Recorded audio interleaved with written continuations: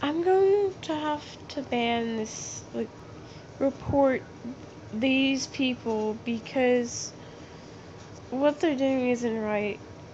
And I, I don't know. I mean, I know plenty of people do it, but that doesn't make it right.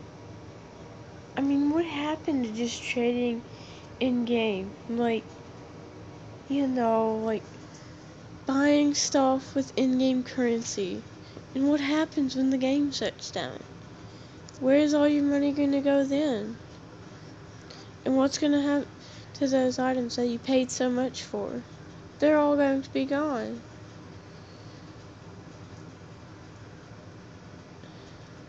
So I'm sorry to say this, but I'm going to have to report everyone here.